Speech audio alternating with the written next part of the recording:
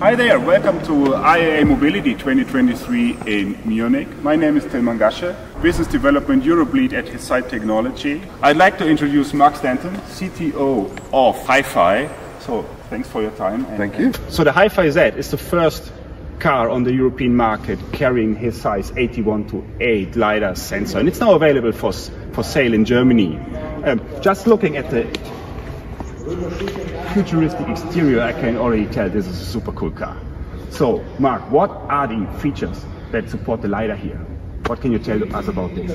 So, so talking about all the HiPhi cars, actually, you know, the thing that we really try and put into all of our cars is the futuristic design. We want to stand out from the crowd. You know, this is not a concept car. Many, yeah. many people look at it and say, "Oh, it's a concept car. When's it going to go on sale?"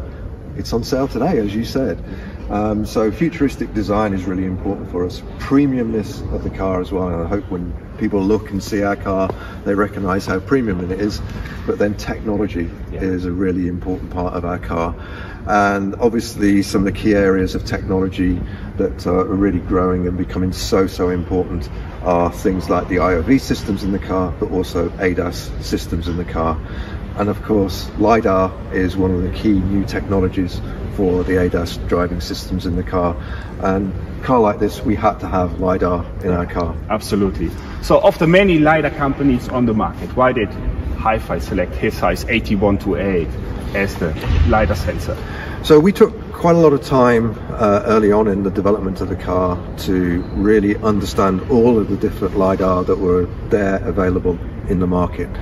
And Hesai was one of the companies that we spoke to. And uh, clearly from all the conversations that we had the capabilities of the AT128 uh, is, is, really its best in class effectively in terms of range in terms of sensitivity and, and just the data that it can provide for us and uh, it was an obvious choice for us to uh, to go with that design. Okay okay. Thanks thanks. Uh, how does the AT128 lidar sensor help to achieve the ADAS functionalities of the of the HiPhi model then? So the system uh, relies obviously not just on the, the LiDAR, it, it, has multiple sensors that it uses to create a, a, a, complete picture of what's going on around the car and ahead of the car. Um, but the LiDAR gives us a range of over 200 meters and uh, the, the amount of data and the precision of that data is, is just incredible. So we get 1.53 million pieces of data per second coming from that LiDAR. Um, and, and the real challenge actually is to utilize all that data and really to create the picture from the, the, uh, the point cloud that we get there of what is happening around the car and then we can make the decisions on what we need to do, what the car needs to do, and inform the driver, etc. So uh, it's uh, it's an incredible technology, and when you see it uh, actually working in the car, um, it, it, really is so impressive to uh, to see what what it can do. Yeah, we are super happy that the car is also now available in in Germany. So, Mark, we are proud of the partnership that we already have and also about the future of the ongoing activities.